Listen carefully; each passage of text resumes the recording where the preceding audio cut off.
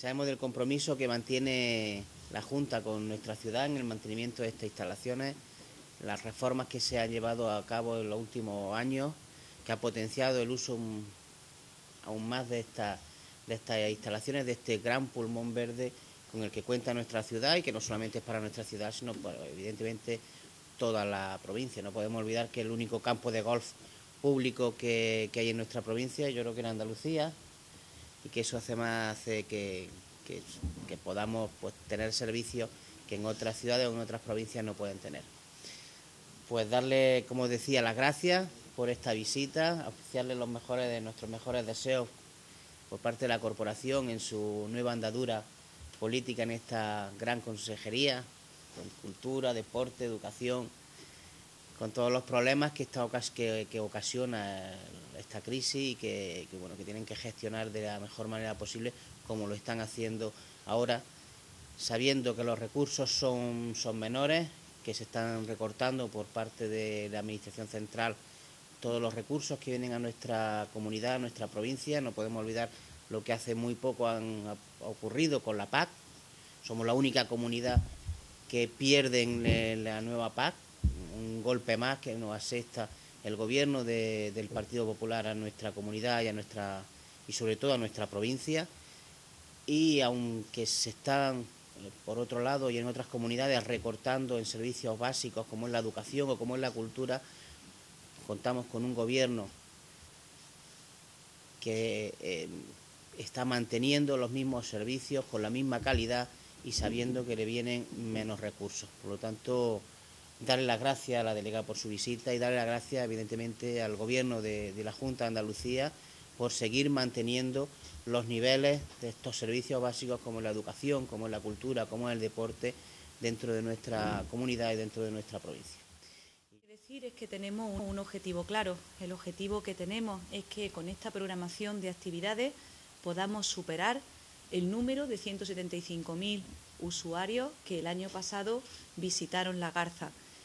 Creemos que es un número muy positivo, pero nuestro reto está en seguir consolidándolo como un gran punto de encuentro para deportistas de todas las edades y también de todos los niveles, desde escolares hasta deportistas de élite. Y por supuesto tenemos que seguir subrayando la calidad y la excelencia de estas instalaciones que por supuesto se encuentran entre las mejores de la red de espacios deportivos, eh, no solo de Andalucía, sino de nuestro país. Vamos a preparar un conjunto de actividades, como digo, que están diseñadas para personas de todas las edades, desde los escolares hasta deportistas de élite, porque bueno, si algo caracteriza al Parque Deportivo de la Garza es que es un ámbito muy inclusivo eh, y que está abierto a las necesidades de muchas personas. En concreto, tenemos cinco programas de actividades que voy a pasar a describir a continuación. En primer lugar, vamos a hablar de Garza Aventura, que es un programa de actividades que está destinado a grupos escolares, asociaciones o clubes y se centra principalmente en ofertar actividades en la naturaleza como la escalada o el tiro con arco y también en la práctica de deportes como el pádel, el golf o el badminton. Tenemos que decir que en el pasado año, en el año 2013, a través de este programa han participado 700 escolares de 15 centros educativos y como anécdota decir que incluso algunos de fuera de nuestra comunidad autónoma, como puede ser de Ciudad Real. El segundo programa que se va a impulsar es Garza Activa y es un programa que está dirigido principalmente a grupos de familiares o amigos a los que se le oferta, además de la posibilidad de practicar diferentes disciplinas deportivas, excursiones turísticas a Linares y a las ciudades patrimonio de la humanidad como Úbeda y Baeza. Creemos que es muy positivo que se pueda mezclar el turismo también con la práctica deportiva. También tenemos que recordar que la Garza, si está caracterizada por algo, es por estar enclavada en un entorno natural ideal que complementa, además de las excelentes instalaciones, la posibilidad de practicar deportes en la naturaleza, como el senderismo o la bicicleta de montaña. Y esta también es una de las prioridades que se está marcando el Gobierno andaluz en el anteproyecto de la nueva ley del deporte, incentivar la práctica del deporte en la naturaleza y, por supuesto, conseguir que cada vez más sean los usuarios y usuarias que se enganchan a la práctica deportiva. Queremos marcarnos como objetivo llegar a la misma tasa que los países nórdicos y por lo tanto tenemos que incidir mucho en la práctica del deporte en edad escolar y en las edades más jóvenes. El tercer programa eh, es denominado Garza Accesible y es un programa de turismo activo que se ha diseñado con el objetivo de atender a colectivos de personas con discapacidad en unas instalaciones que si por algo se caracterizan también es por su alto grado de accesibilidad.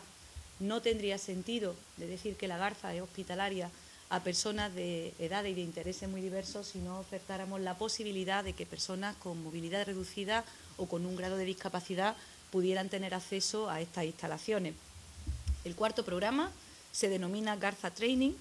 y es un programa en el que eh, ponemos a disposición de los deportistas las instalaciones para que desarrollen actividades de entrenamiento y competición de toda clase de disciplinas deportivas. Principalmente pues, se van a desarrollar actividades como campus deportivos, clinic o vacaciones deportivas.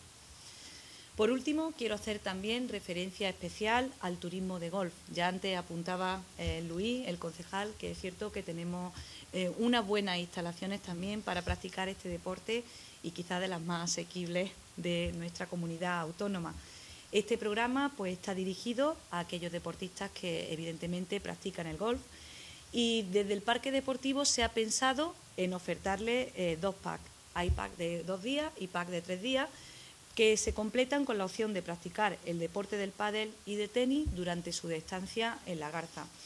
Creemos que con estos cinco programas vamos a contribuir a dinamizar estas instalaciones deportivas, a poner en valor el medio natural en el que están enclavadas, que es algo muy importante, y a seguir generando sinergias pues, entre la educación, el turismo y el deporte, que son fundamentales en la época actual.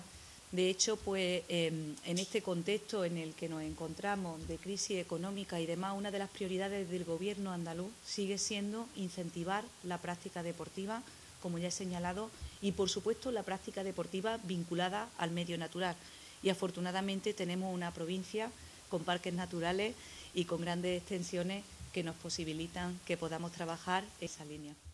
a toda la población ¿eh? en, grupos organizados para que vengan a practicar el golf, a probar el golf